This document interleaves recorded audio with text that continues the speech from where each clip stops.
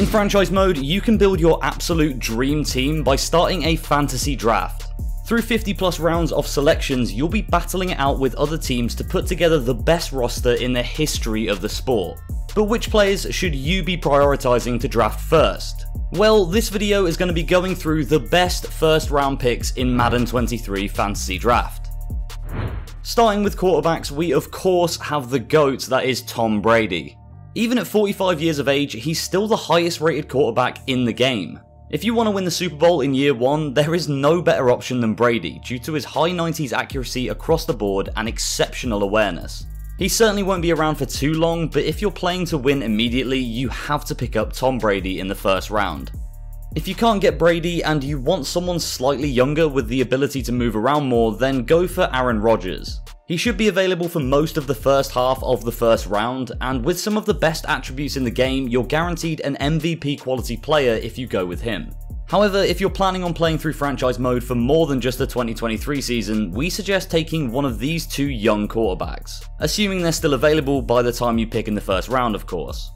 At 95 overall, Patrick Mahomes is the third highest ranked quarterback, right behind Brady and Rodgers but will probably end up being picked significantly earlier than these two due to his youth and his potential. He's a lot of fun to play as as well. With his huge arm strength, athleticism, and his gunslinger archetype, he'll likely be gone within the first 5 picks. After bringing his team to the Super Bowl last year, Joe Burrow's potential is through the roof. If you can get a hold of him in the middle of the first round, you'll have a winning quarterback for decades to come in your playthrough. He also has pretty good ratings across the board, only slightly less impressive than Mahomes. But his youthfulness and insane trajectory so far in his career suggest that his development could outpace both of them in Madden 23. On to running backs now, we have Derrick Henry. The 97 overall running back can run through just about anybody with his 99 stiff arm rating and his 93 trucking attribute. He will likely be the first running back to be picked in every single draft, so make sure to snap him up if you can as he'll rarely ever fall out of the top 25. Jonathan Taylor is a pick for the long term, but if you're drafting late in the first round and want a dominant running back, then you shouldn't hesitate to take him. He's got elite speed and acceleration as well as above average power skills. Now it's time for the wide receivers. To kick things off, the best receiver in the whole game, Davante Adams, is one of only four players with a 99 overall rating in Madden 23. If you're lucky enough to have the first pick in round 1 of the draft, it wouldn't be a bad shout to take this guy. As if you don't, the team with the second pick probably will. With a 99 catch, special catch, catch in traffic, and awareness rating, there isn't any receiver even close to being as good as Davante Adams. So he's definitely our top choice for your wide receiver pick.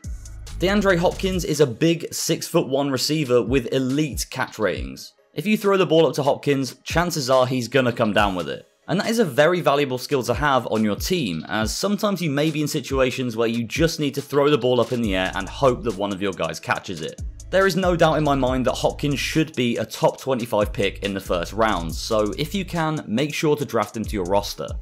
Outside of Davante Adams, there's no receiver more valuable in Madden 23 than Cooper Kupp.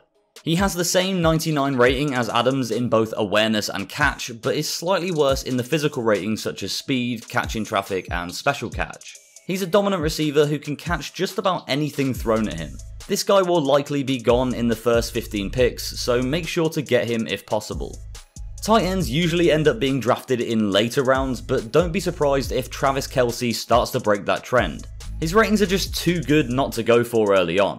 At 98 overall, I'd be shocked to see him outside of the first round. Tight ends can often be your go-to target when you need an easy first down, and Travis Kelce represents the best of the best at that position. So I would definitely snatch him up if you see him available at the end of the first round.